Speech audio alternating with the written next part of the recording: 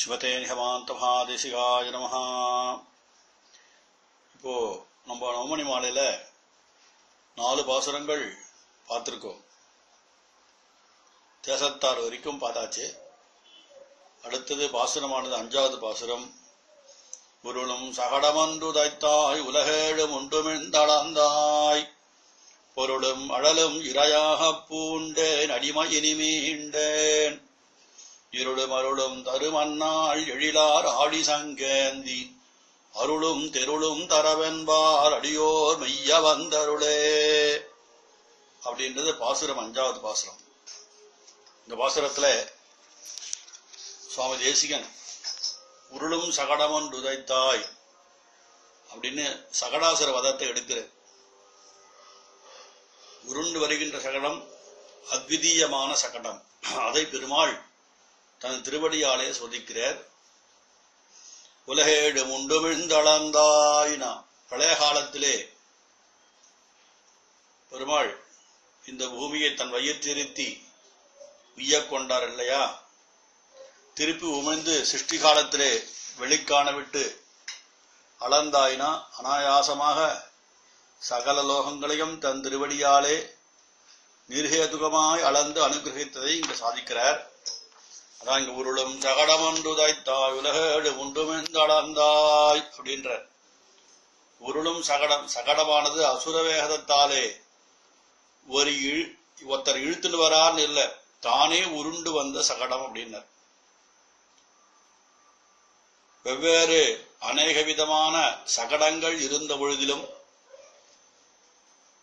வலிமையில் ஒப்பற்றதாகமா இருக்கிற இந்த சகடம் சொல்றான் எப்படி பெருமாள் இந்த பரீட்சித்து மகாராஜாவை போல் பகவானுடைய திருவடி ஸ்பரிசமானது இந்த சகடத்துக்கு கிடைச்சது. இது ஒப்பற்ற பாக்கியமானது அந்த சகடத்துக்கு இந்த சகடாசுரனுக்கே அது. எப்படின்னா ஒரு குழந்தை தூளியில படுத்துருக்கு பசியால கால கால எட்டி உதைக்கிறது அப்படி உதைக்கும் போது இந்த சகடத்திலே எம்பெருமானுடைய திருவடி பட்டு அந்த காம்பீரியத்திலே அந்த திருவடி ஸ்பரிசத்தினாலே அந்த அசுர ஆவிஷ்டமான சகடமானது உதைக்கப்பட்டு தூள் தூளா போய் விழுந்ததுன்னு சாய்கிறார் உருளும் சகடமன்று உதைத்தாய் உலகேழும் உண்டுமிழ்ந்தளந்தாய் அப்படின்னார். லோகமத்துவம் பெருமாளுக்கு சொந்தம். அதற்கு எதுவான ஒரு கேடு வரும்போது எப்படி பெருமாள்? தாயிருக்கம் வண்ணமே உம்மை தன் வயிற்றிருத்தி உய்யாக் கொண்டான் என்றபடி ஒரு தாய் தன் வயிற்றிலே குழந்தை எப்படி வைப்பாளோ அப்படி இந்த லோகத்தை பெருமான் தான் சுவீகரித்து வைத்துக் கொண்டு உலகேழும் உண்டுமிழ்ந்து உண்டான் உமிழ்ந்தான். திருப்பி சிருஷ்டி காலத்திலே எப்படி இருந்ததோ அப்படியே இந்த லோகத்தை திருப்பி கொடுத்தான். அளந்தான் சாய்கிறார். அதாவது எம்பெருமான் தன் திருக்கைகளை எப்படி திருக்கைகள்னா அளம்புரிந்த நெடுந்தடக்கை அமரர் வேந்தன். அப்படி இந்த திருக்கடை மூவடி தாவென்று இறந்த இம்மண்ணினை ஓரடி இட்டு இரண்டாம் அடி தன்னிலே தாவடி இட்டானால் என்று முற்றும் தரணி அளந்தானால் என்று முற்றும் பெரியார் சாதிச்சார். அப்படி பெருமாள் பலி சக்கரவர்த்தி கிட்டே இந்த லோகத்தை வாங்கிண்டு தான் இறப்பாளனாக இறந்து கொண்டு அளந்து எடுத்துக்கொண்டான் இப்படி பலபடியாலும் எம்பெருமான் ரட்சித்தவை இங்கே சொல்லப்பட்டது. இப்படி முதல்ல சாதிச்சது உருளும் சகடமன்றுதைத்தாய் உலகேழும் உண்டுமின்றளந்தாய் அப்படின்னார். பொருளும் அழலும் அப்படின்னு அடுத்த பதம். பொருள்னா இங்க ஐஸ்வர்யங்கள்னு அர்த்தம். அழல்னா அழன்னு சொல்லுவா அழல்னா இங்க வந்து ஐஸ்வர்ய புருஷா புருஷார்த்தங்கள் சொல்பகாலத்திலே அழியும். அதான் சொன்ன ஒரு நாயகமாயில நம்மாழ்வா சாதிச்ச மாதிரி இதெல்லாம் அழியக்கூடிய புருஷார்த்தங்கள். மோட்சம் ஒன்றே அழியாத பெரிய புருஷார்த்தம். குறுகானீடா இறுதி கூடாயனையோடி சிறுகா பெருகா அளவில் இன்பம் சேர்ந்தாலும் அப்படின்னர். சிறகாலமான இந்த ஆத்மஸ்வரூபத்துக்கு அனுச்சிதமான இருக்கு. அதாவது ரொம்ப லாங்கா இருக்காது. சும்மா கொஞ்ச நாள் இந்த கைவல்யம் ஆத்ம தரிசனம் என்பது கைவல்யம் இங்கே. அதுதான் இங்க அடல்னு சாதிக்கிற. இந்த கொஞ்ச நாளி இந்த கைவல்யம் எனக்கு வேண்டாம். அது எப்படிப்பட்டது அப்படின்னா சமுத்திர கோஷ்பதமஸ்தி அப்படின்னு சொன்னான்.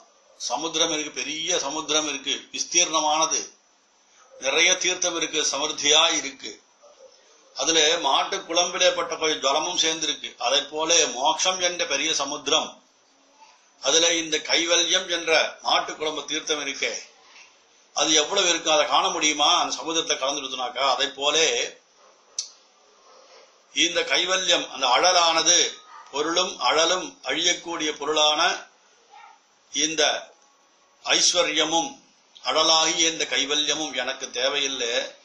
இரையாக பூண்டேன் அடிமை இனிமீண்டேன்னு சாதிச்சார். இந்த மாதிரி அப்படி இருக்கக்கூடிய அழியக்கூடிய வஸ்துவ எனக்கு வேண்டாம். ரொம்ப நீடித்து நிற்கக்கூடிய மோட்சமாகிய புருஷார்த்தம் மட்டுமே அடியேனுக்கு பிரீத்தி.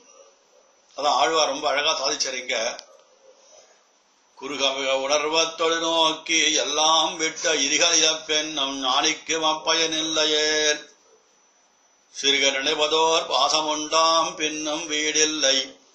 மறிகடல் ஈசனை பற்றி விடாவிடல் வீடகுதே அப்படின்னு ஞானிகளுக்கு கூட அந்த கைவல்யம் எந்த பிரயோஜனமும் இல்லை. அதனால வீடு கிடைக்கணும்னா மறுகளில் ஈசனை பற்றுங்கோ. அந்த கைவெல்லத்தை விட்டா இந்த மோட்சம் கிடைக்கும். அதுக்கு பெருமான பற்றணும்னு சாய்கிறாருங்க இந்த கைவல்ய தோஷங்களை எல்லாம் சாதிச்சார். அப்படி இந்த சுவாமி தேசிகன் இங்க வந்து பெருமாளிடத்திலே மோட்சத்தை தான் பிரார்த்தனை பண்ற இரையாக பூண்டேன்னா மற்ற புருஷார்த்தங்களினுடைய அல்பத்துவத்தை இங்கு அருள் செய்கிறார் எப்படி என்னென்ன இருக்கோ? அல்பஸ்துவம் இருக்கு அஸ்திரத்துவம் இருக்கு துக்க மூலத்துவம் இருக்கு துக்க விஸ்தத்துவம் இருக்கு துக்க அனர்கத்துவம் இருக்கு. இப்படி நிறைய துக்கங்கள் இருக்கு இல்லையா? இந்த துக்கங்கள் எல்லாம் இந்த லோகத்திலே அழிஞ்சு கிடக்கு. இந்த காரிருள் நிறைந்த இந்த லோகத்திலே அழிந்து கிடக்கு. இதையெல்லாம் போக்கணும் என்று சொன்னா இந்த பெருமாள் எனக்கு அனுகிரகம் பண்ண வேணும்னு சாய்க்கிறார் இதை ஸ்ரீமத் ரகசத்திரைய சாரத்தை சுவாமி தேசிகன் ரொம்ப அற்புதமா சாதிச்சிருக்கார். பொருள் மட விரையாக பூண்டேன் அடிமையினி மீண்டேன். அதாவது அடிமை என்பது பெருமாளுக்கு கைங்கரம் செய்யறத காட்டுறது. அடிமை பூண்டேன் தேவருடைய கைங்கரியத்தையே அடியேன் புருஷார்த்தமாக புருஷார்த்தமாக அங்கீகரித்தேன். இவ்விடத்திலே புருஷார்த்தமாக அங்கீகரித்தேன் என்றபடியால் அதற்கு உச்சிதமான உபாய உபாய அனுஷ்டானம் செய்தபடி இங்கு அர்த்தம். அதாவது சரணாகதி பண்ணன்னு சொல்றாரு இப்ப அடிமை என்று சேஷபூதன் தன்னை ரட்சித்துக் கொள்வதற்காக செய்யும் உபாயத்தை இங்கு சாதிக்கிறார். அதாவது சேஷ சேஷி பாவம். பிரபத்தியை பிரபத்தியை அனுஷ்டிப்பதற்கு ஔச்சித்யத்தை காட்டுகிறது. அதாவது இன்னும் எப்படி சொல்லணும்னா பூண்டேன்னு சாதிச்சார். அடிமை பூண்டேன்னா சுவீகரித்தேன்னு அர்த்தம். அதாவது இந்த ஆத்மாவுக்கு அழியாத ஆபரணம் என்பது தெரிவிக்க இதுன்னா பெருமாள் தான் இங்க. பூந்துகில் சேரல்கள் காமழல் விடலடுத்து கலரணியாது அங்கங்கள் அழகு மாறின்னு. இந்த புஷ்பங்களை காட்டிலும் அதிக மிருதுகளான பட்டு வஸ்திரங்களையும் நிராகரித்து ஹார கேயூராதி ஆபரங்களையும் கழற்றி எம்பெருமான் எப்படி தான் மரபுரையை சாற்றி கொண்டு இருக்கும் போதைக்கு மகரிஷி இது பெருமாளுடைய அணு யாத்திரைக்கு உருப்படியானதாலே பூர்வவேவ மகாபாககான் சொல்லி சாதிச்சார் இல்லையா? அந்த மாதிரி இந்த இடத்துல எடுக்கிறார் இங்க. இது அலங்காரமாக செய்தான். அதாவது பகவத் கைங்கரத்துக்கு உபாயமான பிரபத்தியை அலங்காரமாக திருவுள்ளம் பற்றி அதான் இங்க பூண்டேன்னு சாதிச்சார். அடிமை பூண்டேன். அடிமை இனிமீண்டேன்னு சாதிச்சார். இந்த பிரபல கர்மாக்களாலே தடுக்க வண்ணாததாய் பிரம்மாஸ்திரம் போல இருக்கோ இல்லையோ இந்த ஒரு பிரம்மாஸ்திரம் என்ன பண்ணும்? வேறோர் கூட்டு வேண்டில் அனைத்திறம்போல் வெள்ளி நிற்கும் சொன்னார். பிரம்மாஸ்திரம் விட்டா அதுக்கு வேற ஒரு சககாரி தேவையில்லை. அதுவே எல்லாத்தையும் பண்ணிடும். அப்படி இந்த சரணாகதி என்ற ஒரு உபாயமானது எல்லாத்தையும் சாதிக்க வல்லது அப்படின்னு சாதிச்சாரு. எல்லாத்தையும் சாதிக்க வல்லது மோட்சத்தை கொடுக்கும். அப்படின்னு ரொம்ப அற்புதமா இங்க சாதிக்கிறார். கண்டு கேட்டுட்டு மோந்துண்டுடலும் அங்கருவி கண்ட இன்பம் தெரிவறிய அளவில்லா சிற்றின்பம். ஒன்றுடையால் திருமகளும் நீயுமே நிலா நிற்ப கண்டசதரு கண்டொடிந்தேன் அடைந்தேன் உன் திருவடியேன்னு சாதிச்சார் நம்மாழ்வார். இந்த துக்கமெல்லாம் போச்சு சரணாகதி என்ற உபாயத்தாலே உன் திருவடி எனக்கு பிராப்தமாச்சு அதாவது அடிமையினிமி இண்டேன். அவைகளிலிருந்து இந்த லோக பந்தத்திலிருந்து நான் நிவர்த்தி அடைந்தேன் சாதிச்சார். அடிமை அடிமை செய்ய அதாவது கைங்கரியம் பண்ணதற்கு அடிமை பூண்டேன். அதிலிருந்து அடிமை இனி மீண்டேன்னு சாதிச்ச இப்படி அதாவது தான் எப்படி மரணமானால் வைகுந்தம் கொடுக்கும்பிரான் ஆழ்வா சாதிச்சபடி இத்தேகம் விட்டவர்க்கு மோட்சம் கொடுப்பது எம்பெருமான் திருவுள்ளம் அது அத சரீரபாத சமயேது கேவலம் மதியைவதையான்னு சொல்றார் இல்லையா? கத்தியத்துல சாதிச்ச மாதிரி. இந்த நிர்யாணத்தின் சமயத்திலே நான் உன்னை கொடுக்கிறேன். அப்போதைக்கு இப்போதே சொல்லி வைத்தேன். அரங்க தரவணை பள்ளியானேன்னு துப்படி வாரசகத்தை பெரியாழ்வ சாதிச்சார். அப்போ அடியனால உம்மை நமஸ்கரிக்க முடியுமோ முடியாதோ இப்போதே பெரும்பெருமான் அப்ளிகேஷன் போட்டுட்டேன் உனக்கு. அதனாலே தேவரீரே என்னை வந்து அழைச்சுண்டு போகணும்னு சொல்றார். அதாவது பிரத்யங்க பூர்ண சுஷுமா சுபகம் பபுஸ்தேன்னு சாதிச்சார். அடியவர்க்கு திவ்ய மங்கள விக்கிரக சாட்சா்கார விசேஷத்தை இங்கு அபேட்சிக்கிறார். இந்த தேவநாயகன் அச்சாவதாரத்தை இருக்கும் ஊற்றத்தின் விசேஷத்தினாலே அங்கு ரங்கநாதனிடத்தை பட்டர் சாதிச்சார் இல்லையா? எப்படி சாதிச்சார் அப்படின்னா பரமபதத்திலே சென்றாலும் திருமுடியில் சாத்தின கருப்பு வளையமும் திருநெற்றியிலே கஸ்தூர திலகமும் திருமார்பிலே இந்திரநீல பதக்கமும் காணாவிடில் அடியேன் பராவதத்தின் ஒரு மூளையடியே முறித்து கொண்டு வந்து விடுவேன்னு திருவரங்கம் வந்து விடுவேன்னு சாதிச்சார். பராசரபட்டர். ஏன்னா அந்த அர்ச்சையில் இருக்கிற ரங்கநாதன் தான் அவருக்கு வைகுண்டநாதன்.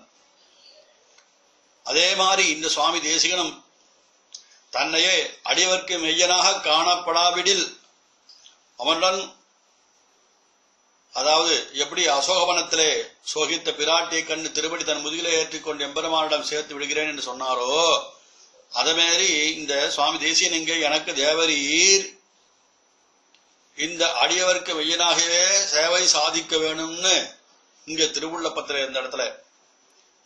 அப்படி இங்க பொருளுமளல விரையாக பூண்டேன் அடிமையினி மீண்டேன் இருளும் அருளும் தருமன்னாள் அருள் இருளாகிய அந்த அஞ்ஞானம் விபரீத ஞானம் இவளை கொடுக்கும் அந்த பிராண விநியோக காலத்திலே தேவரீர் வந்து அடியனுக்கு அனுகிரகிக்க வேண்டும். அண்ணாள் அப்போதைக்கு இப்போதே சொல்லி வைத்தேன்.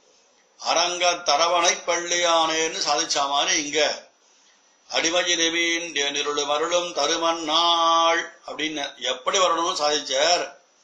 எழிலார் ஆழி சங்கேந்தி அருளும் தருளும் தரவன்பால் அடியோர் மெய்ய வந்தருளே ஈழார் ஆழிசங்கத்தாலே தேவரீர் அடியனை காக்க வேண்டும் சாய்ச்சர். அடுத்த பதிவிலே பார்க்குற அடியன்.